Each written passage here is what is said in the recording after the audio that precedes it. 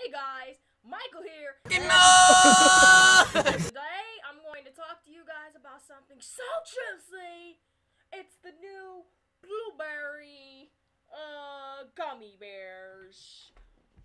Um I think we're going to try that right now, guys.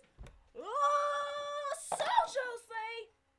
Uh, here it is, the blueberry. Um, so juicy.